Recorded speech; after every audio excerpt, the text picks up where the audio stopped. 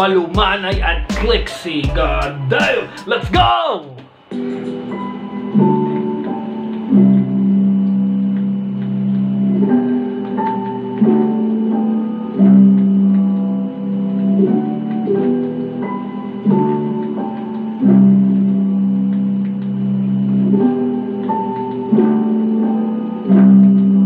Come back to reality, Tom. Pero, ilakbay ko ang masukal na daanan para lamang masilayan ang dila ng aking simpleng kaligayahan. Hindi inisip ang sasabihin ng karamihan basta mahal kita kahit sa paningin nila ito'y pawang kasalanan.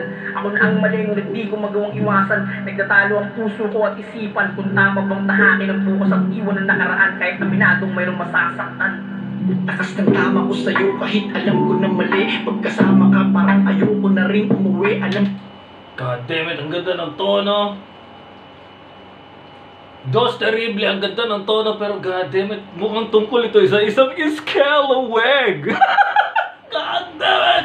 Let's go! dito madali pero di natin maiwasan Parang mancha sa papel lagi na pwedeng mahugasan Kasalanan niya, oo aminado na ako Ang ibigin ka ng puso'y masisisi ko ba to Marami mang masasakit na Bro, number one rule dito sa goddamn house, okay? Bawal ma-in love sa isang iscalawag. Hindi pwede, man.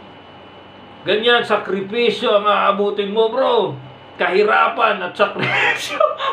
God damn. Nasalita ang iba to Ang sinasabi ko lang pakiramdam ko'y iba to Dahil sa'yo nagagawa kong talikuran ng lahat Parang pinana ni Cupido ang bala ay sibat Bro, wag mong talikuran ng lahat, man. Okay? God, health, money, and the rest. Okay? Goddamn guy, makinig kayo, man. Okay? God muna, your health, your money, and the rest. Ganon dapat ang hierarchy ng attention mo. Okay? Pero dito sa kwento ni Dos Terrible, mukhang na-in love siya, man. God damn. Let's go! Kaya ang bigat, paano pag nagpaalam ka na Kanino pa ako lalapit, di na pwede kay ama Sige bahala na Man, God Almighty, man. Lumapit ka kay God Almighty pag may mga ganyang sitwasyon. God damn it! Ano ang kakalabasan, basta dibdib ko Patuloy ko na lang lalakasan Ipangako mo sa akin na palagi kang nandyan Itong pag-iibigan natin ay huwag mo mawakasan Pag-iibigan natin ay huwag mo mawakasan rin ang kagandahan muna para mga tala na ang tinatanaw bago ipikit ang aking diwa. Kung hindi paliginip pa nung sana gisingin pa. Kung pwede lang sana oras na rin ito ina muna. Na- God damn it, ganun talaga siya ka in love sa isang iskalo. Hindi ko alam kung iskalo wag ito pinatutungkulan ni Dos Terrible, okay? Nag-a-assume lang tayo. God damn it, man! Magandang storytelling ito, God damn gang, bro. Puera biro, magandang storytelling ito kasi nangyayari talaga ito sa tunay na buhay natin. Dahil ang bawat segundong wala ka ay parang panghabang buhay na parusa. Ang bawat pagtatagpong pansamantala ay tila siglo na lubay na baka sa mga mata. Di ba? Ibang klaseng setup ito kasi mali. Alam niyang mali, di ba? May may pinagsamahan sila nung Iscalawag pero alam niya mali. Ma maaari may tumitir din dun sa na iba. Alam mo yun? Iscalawag. okay, so just playing. Let's go! Ngayon ako ang pag-ibig ang bawal Hindi relasyon ang aking tangan. Nabis sa tanongin mo kung lamat ako ng puso mo at isipan? Ang aking kong lalabi di na magawang tapian Na yung sinasabi pag-ibig na walang hangganan. Ako'y natulala sa tanong mo ko na namalayan.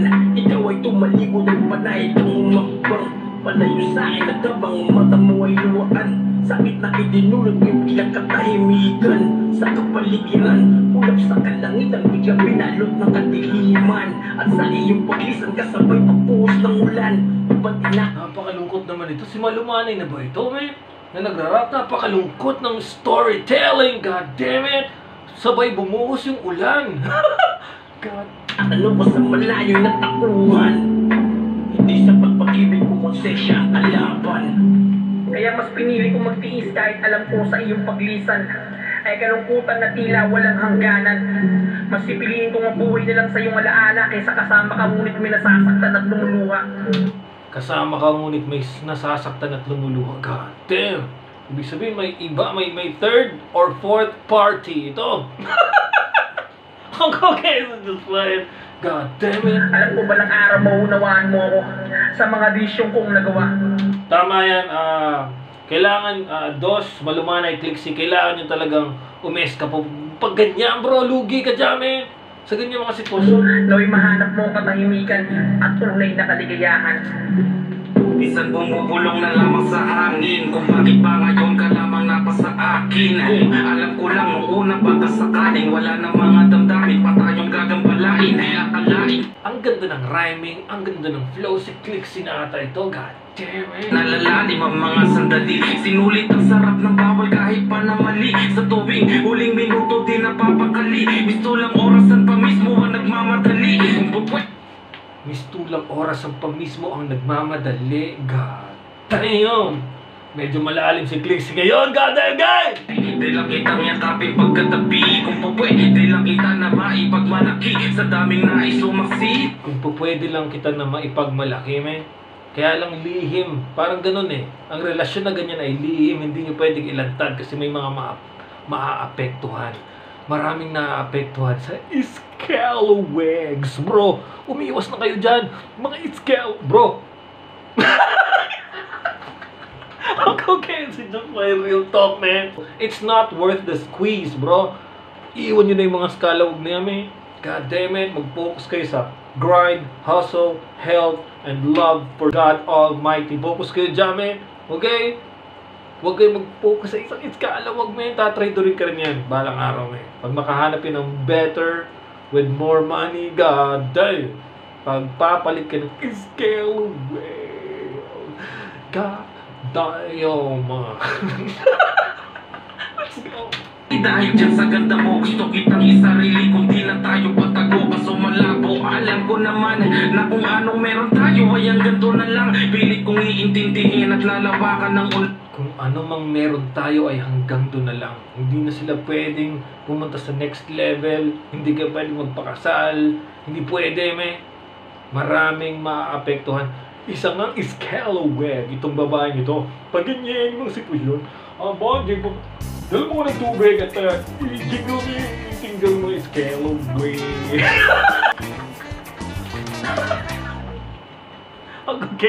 Lion.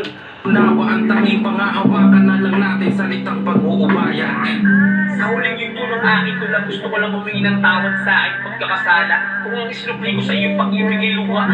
Yung alam ko at alam mo na makabuti sa ating dalawa. Maganda nga yan, men. Paluhain mo ng isang buhos na lang. Kesa naman sa tumagal yung relasyon pero hindi pala kayo fit sa isa't isa. Nagkakaroon na kayo ng mga mental issues habang magkasama kayo. Hiwalay namin. Mahirap yan, goddammit. Oo, masakit. Ang pakiramdam ng iwan pa sa gitna ng digmaan. Yung pilit ka lumalaban pero yung binitawan at tinalikuran. Yung akala mo siya na ang kukumpleto sa'yo. Pero siya pala ang magiging rason ng iyong pagguho. Grabe naman yung storytelling na yan. Napapa-FPJ ako. Kumusta ka?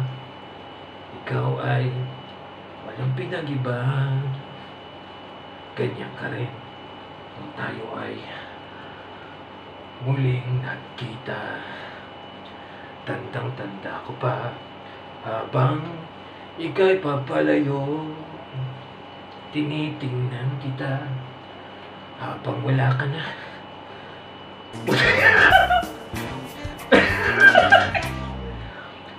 Buti pa si Inday, mahal na mahal niya ako. I love you, Inday.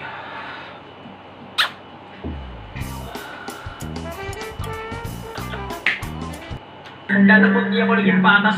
Nagkamali ako dahil hindi ko sinabi yung maaga na pinakunta sa iyo na sa akin ay nagpapasaya na ako mismo di ko mapaliwanag kung bakit kita minahal kahit Bakit kita minahal, me?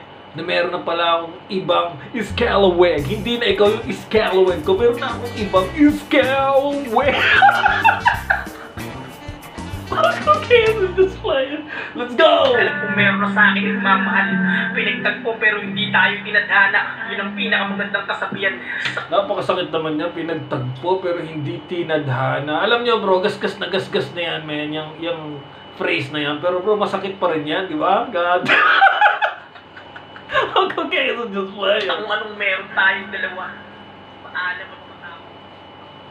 Alam mo yun, nagpapaalam siya hanggang sa biglang nawala na lang yung boses niya. Napakalupit nun, di ba?